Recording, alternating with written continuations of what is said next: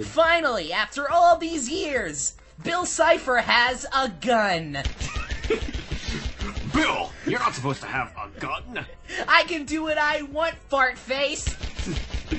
Dipper, it looks like Bill's gotten a gun.